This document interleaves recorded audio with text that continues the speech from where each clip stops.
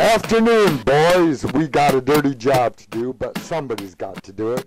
Round up the saints and bring them here. We got special things to do with them. the rest, shoot on sight. Take 'em out. You heard 'em, boys. Attack!